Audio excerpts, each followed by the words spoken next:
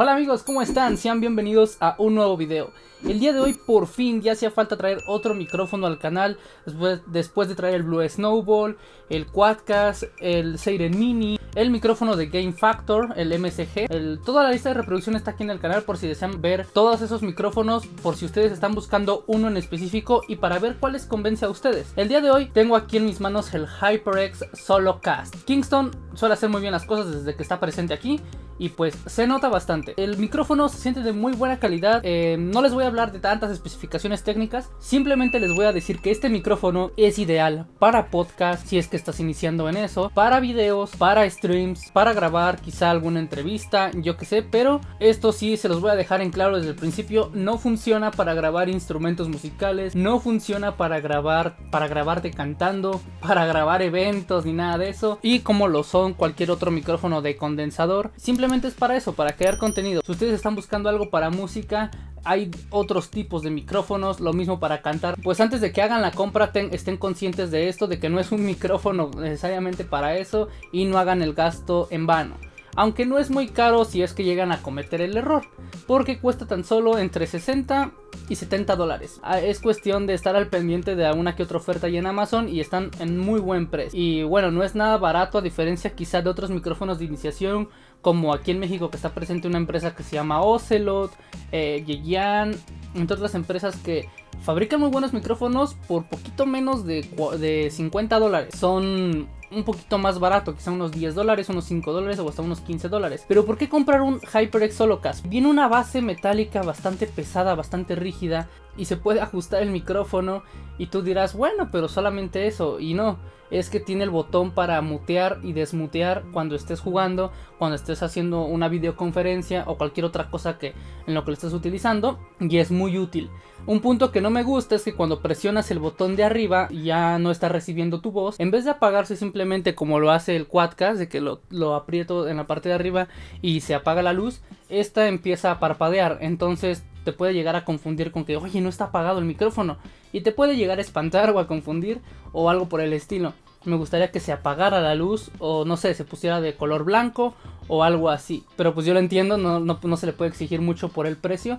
Pero también no queda de ver para nada. Porque es, un, es una calidad de construcción muy buena. La rejilla que protege la cápsula de audio es de metal está muy bien hecha, no es de plástico como en el HyperX Quadcast. Y entiendo que ahí economizaron porque al tener cuatro patrones polares, pues había que reducir costos en algo. Pero en este caso, que solamente es un patrón polar, el cual es cardioide, nos, abre la posibilidad de que puedan, pues, eh, aprovechar ese presupuesto para, para darle una buena calidad a la rejilla que protege la cápsula y también incluirnos esta basecita. Me parece un buen detalle que incluye esta base y también puedes colocar el micrófono en un brazo para micrófono. Por ejemplo, aquí en, en el brazo que tengo aquí el Quadcast lo puedo colocar. Simplemente nosotros afamos la base de este HyperX Solocast y pues lo conectamos acá. La verdad yo sí cambiaría el Quadcast por este por el minimalismo y el espacio quizá que me ahorraría.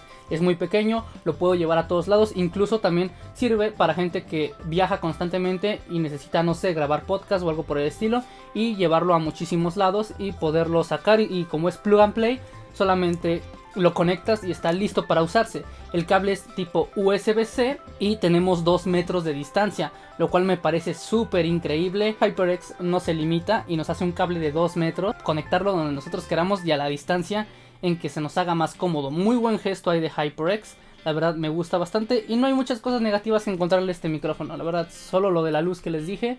Y, y ya, no, no encuentro desventajas sobre el precio en el que está no las encuentro. Así que, ¿qué les parece si lo colocamos en el brazo del micrófono?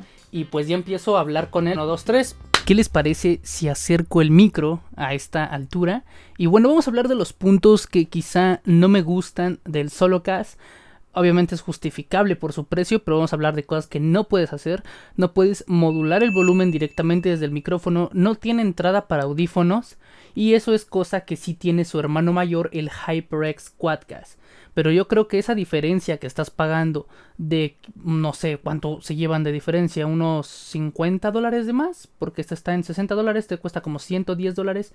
esos 50 dólares de más, pagarlos por modular el, el, volumen y también por tener ese chipset de audio, también valdría la pena. El, el, ¿Por qué se llama Solocast? Porque solamente tiene un patrón polar, ya les dije que es el cardioide, y el Quadcast porque tiene cuatro patrones polares, que es bidireccional, omnidireccional, cardioide y, y estéreo. Entonces esos cuatro patrones polares sí hacen bastante la diferencia por si ustedes están buscando algo más cómodo que te facilite los streams, que te facilite más funcionalidades y así. Ustedes díganme, estoy un poquito inclinado porque el brazo del micrófono no me llega tanto hasta acá y no quiero que se escuche tanto, tan de lejos el, micrófono, pero ahora me voy a poner como normalmente suelo grabar mis videos, a ver si por lo menos cuando me aleje lo estoy poniendo de esta manera, lo voy a rotar un poquito más para acá para que sea un poco más cardioide. Y bueno, aquí estoy, como si estuviera normalmente eh, grabando un video con el micrófono a un lado, no me gusta tenerlo aquí estorbándome. Eh, cuando hago stream sí lo tengo cerca, pero en este momento no. Y pues vamos a ver cómo se escucha así con anti, con sin el anti-pop. Y ahora vamos a ver cómo se escucha con el anti-pop. No sé ustedes qué diferencia noten con el antipop o sin el antipop. Lo bueno que la rosca que tiene en la parte de abajo del micrófono es universal y no vas a tener ningún problema en ponerlo en algún brazo. De todas maneras en el Quadcast viene un adaptador incluido, lo cual me parece genial. En este caso no viene el adaptador incluido, pero porque es una entrada universal.